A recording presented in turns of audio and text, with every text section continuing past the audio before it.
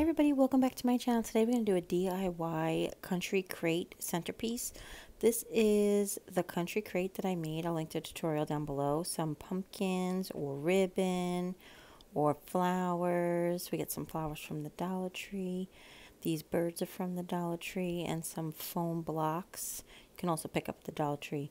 Um, I'm going to link this tutorial down below. This is the country crate that we made a few months back and we're going to make an autumn arrangement. And this is going to be one that we're not going to permanently attach to this crate um, you know I don't I don't like to make any things just like specifically just for an item. So I'm just measuring the foam crates for the bottom. I've done is I've overlapped one um, put one on the left put one next to it and overlapped it so I could cut it down to its proper size.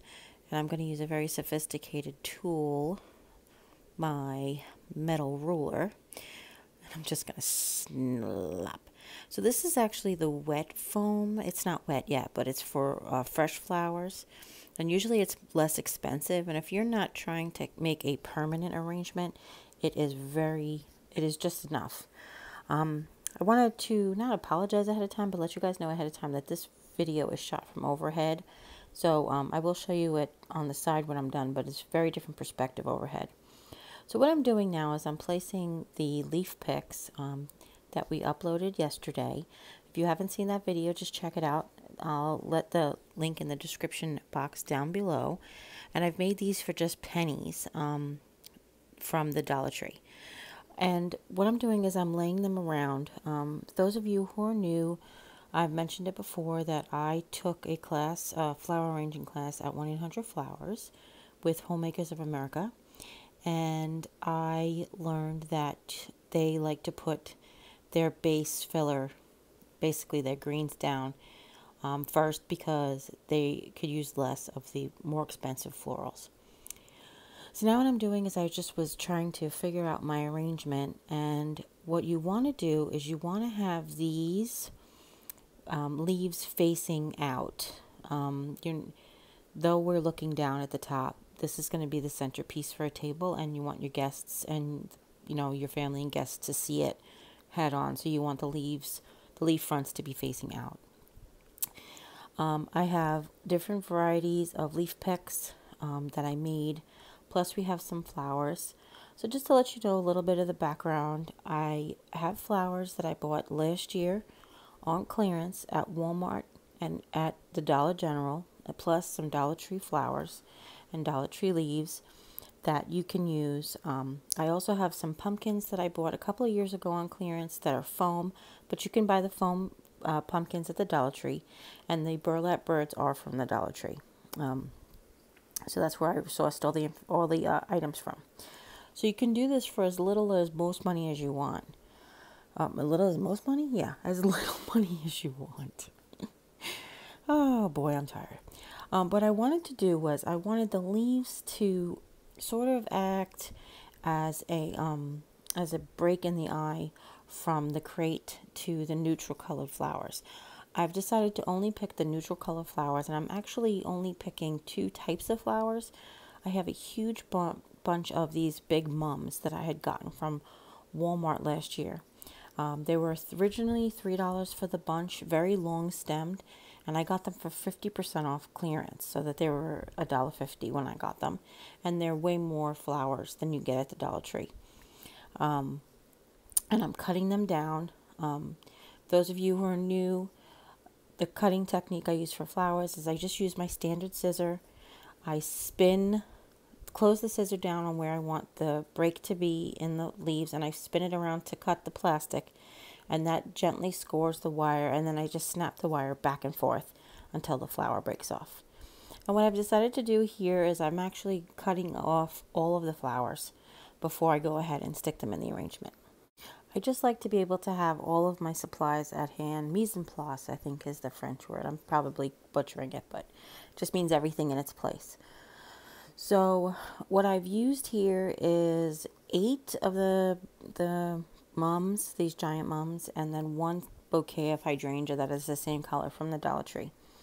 And like I said, I've um, just used my color. The only color that I have is in the leaves because I wanted this to seem sort of still sort of neutral. And though there is orange in the leaves, um, I also have leaves, leaves that are like beige and look like they're dying, and then some with the golden tone. But I still feel like it is very neutral. Um, but because that color line, that little bit of color line that we do have is between the crate and the flowers, it does help um, visually help your eye break it up.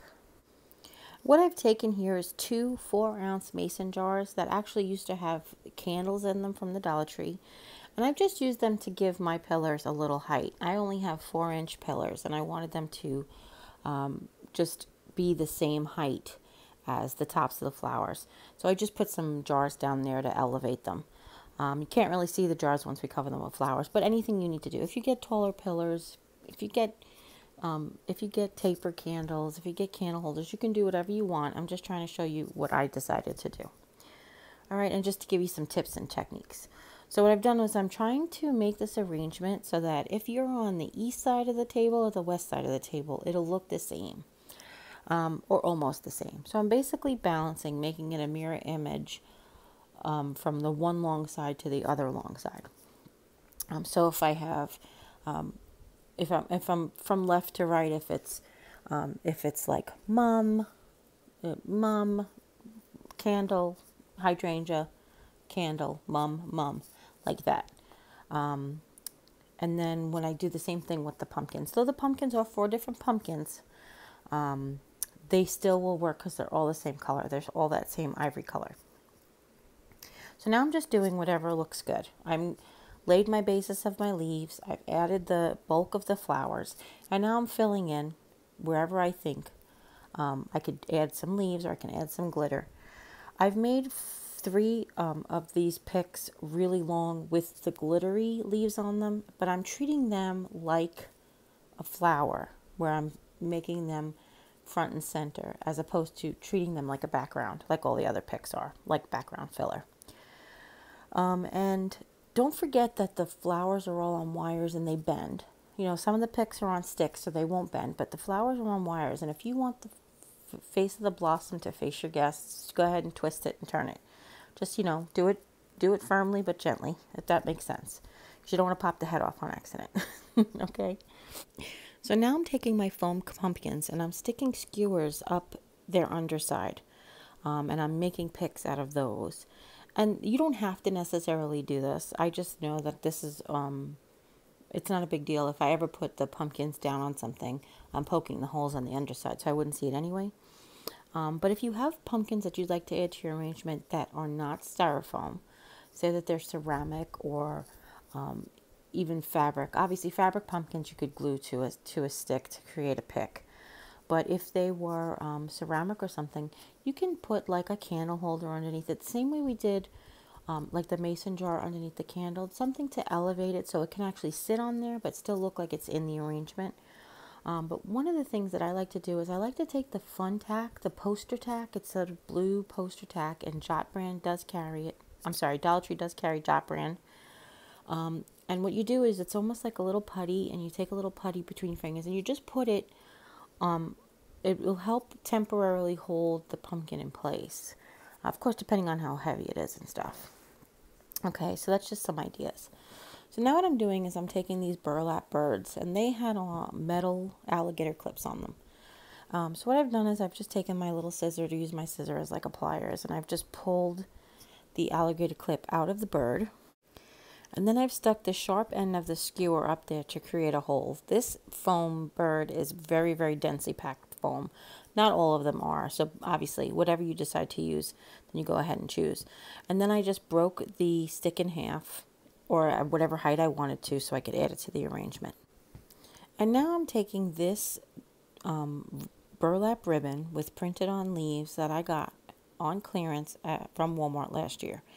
Now, clearance shopping after the season, some of you, it's just an everyday thing that we always do. But for some of you who don't realize what a great resource that is, as long as you have some place to store the item until next year, it is definitely the like the way that I can afford most of what I get is on clearance. Um, So what I've decided to do is I've decided to take this ribbon and just to add a little more country to this arrangement. I've um, tucked one end under one side and I've tried to do that same mirror image weaving. I'm going to weave it in and out and I'm going to tuck it around the flowers and candles.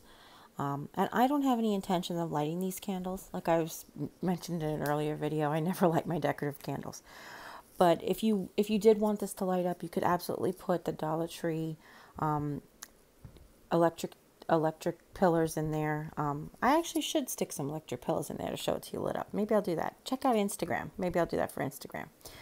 Um, but what I'm doing is I'm taking the ribbon and I'm weaving it in and out. And what I'm doing is I'm pinching sections to squeeze together. Um, it's wired so it'll hold. If you see, I pinch the sections there, and once the section is pinched, I push down and create a new section. And what I'm doing is if I'm on the left, on, on the side that I'm looking at, if it, if it starts on the left and it bows out towards me, hits the center, and then I'm going to make sure it bows out on the other side across so that if I turn it around, it's, it's a, you know, like I said, if you turn it around, it looks the same from whatever side of the seat you're, ever side of the table you're on. And that's it. I hope you really enjoyed this tutorial. I had so much fun doing it. I haven't done flower arranging forever, it seems like. If you have any questions, leave them in the comments down below. Don't forget to give this video a thumbs up and share it with friends and family, anybody you know who'd be interested in making an arrangement like this. And if you haven't yet, hit subscribe and click that little notification bell, and YouTube will let you know when I upload a new video. And as always, take care. God bless. We'll see you next time. Bye.